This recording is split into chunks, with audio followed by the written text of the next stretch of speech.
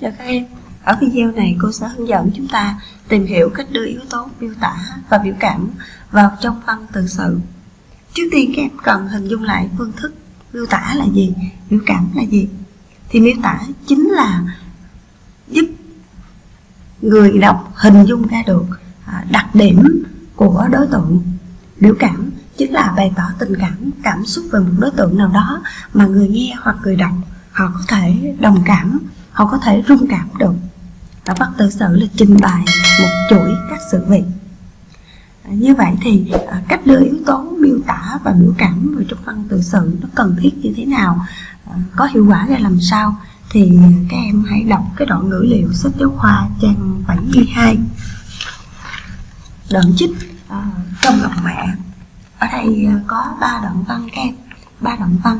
Như vậy thì phương thức biểu đạt chính của đoạn trích này chính là phương thức tự sự.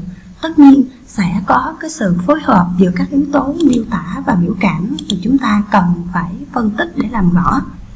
À, qua đó các em có thể học tập theo và rút ra yếu tố miêu tả và biểu cảm sẽ được đưa vào như thế nào. Như vậy thì ở đoạn văn đầu tiên tức là đoạn văn à, tái hiện lại cái sự việc là à, khi mà bé Hồng phát hiện à, ra mẹ thì bé Hồng chạy theo chiếc xe để và đuổi theo mẹ của mình. Như vậy thì à, đây là cái sự việc. À, tất nhiên thì trong đoạn văn này đã sử dụng những cái yếu tố miêu tả và biểu cảm khác. À, các em nhìn và phát hiện à, thì chúng ta thấy là miêu tả chiếc xe.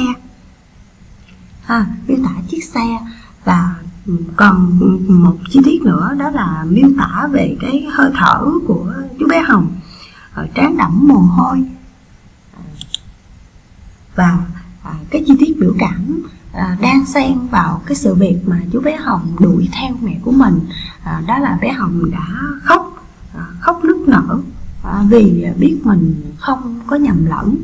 Bởi vì chú bé hồng rất là sợ nếu mà nhầm lẫn là sẽ bị trêu chọc à, như vậy thì các em cùng nhìn lại cái sơ đồ này thì các em sẽ thấy sự việc chính bao giờ cũng sẽ lồng ghép với yếu tố miêu tả và biểu cảm đang xen à, để thể hiện cái cảm xúc để thể hiện được cái sự bối rối cái sự bất ngờ cũng như là niềm vui của bé hồng khi đuổi kịp mẹ. Tiếp theo ở cái đoạn văn thứ hai đầu trang 73 thì chúng ta thấy cái sự việc chủ đề à, của đoạn văn này đó chính là bé hồng leo lên xe ngồi vào lòng mẹ như vậy thì các em tiếp tục quan sát để tìm những cái chi tiết miêu tả và biểu cảm trong đoạn văn. Các em rất dễ nhận ra các yếu tố miêu tả hình ảnh của người mẹ đó là dáng người ờ, gương mặt và cả cái hơi quần áo của người mẹ được miêu tả rất là chi tiết à, cho thấy là người mẹ luôn luôn rất là đẹp ờ, trong à, mắt bé Hồng. Và khi xà vào lòng mẹ thì bé Hồng quan sát mẹ mình nhiều hơn. Và dường như đó là cái hình ảnh thu những cái nỗi nhớ thương. Vậy thì sau cái chi tiết miêu tả này à, bé Hồng đã thể hiện cảm xúc à, đang xen sau đó. Ví dụ như khi à, thấy dáng người mẹ mình vẫn không có còm cõi sát sơ thì bé Hồng cảm thấy rất là sung sướng. Quan sát gương mặt thì bé Hồng cảm thấy ấm áp khi mà được xào vào lòng mẹ và khi mà được ở trong cái sự ấm áp của tình thân thì bé Hồng à, cảm thấy vô cùng hạnh phúc. Vậy là tương tự cái sự việc thứ nhất thì sự việc thứ hai này đang xen rất nhiều chi tiết miêu tả và biểu cảm giúp chúng ta hình dung ra được. Qua cái sự việc này thì à, bé Hồng đang cảm thấy rất là hạnh phúc khi được gặp lại mẹ và ở trong vòng tay mẹ. Tiếp tục ở động văn thứ ba đó là cái sự việc kể về cuộc trò chuyện của bé Hồng và mẹ. Thì ở đây chúng ta thấy tác giả đã sử dụng đang xen yếu tố biểu cảm tức là qua cuộc trò chuyện đó thì chú bé Hồng chỉ muốn bé lại à, để mà được áp vào lòng mẹ mà thôi. À, và cái cảm giác đó thật sự êm dịu vô cùng. À, vậy thì qua đoạn trích này các em thấy là ba sự việc chủ đề được nêu rất rõ và đan xen với cái chi tiết miêu tả và biểu cảm làm nổi bật được cái cảm xúc của nhân vật cái sự sung sướng của nhân vật bé hồng.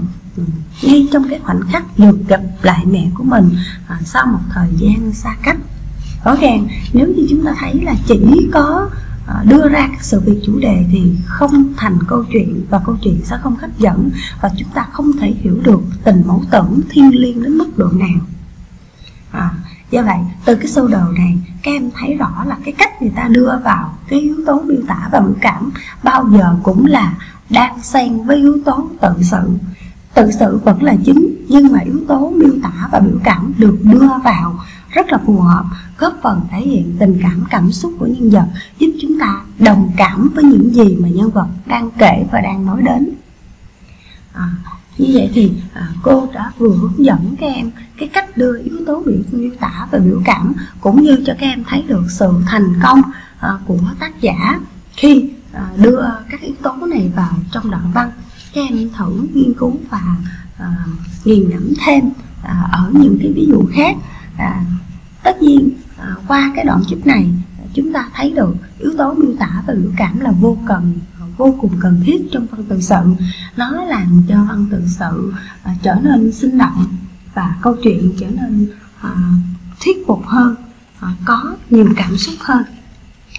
À, chúc các em à, sau khi à, nghe cô hướng dẫn thì các em có thể à, linh hoạt đưa yếu tố miêu tả và biểu cảm vào trong văn tự sự và có thể học tốt hơn à, tiết học ở trên lớp. Hẹn gặp lại các em trong những video tiếp theo.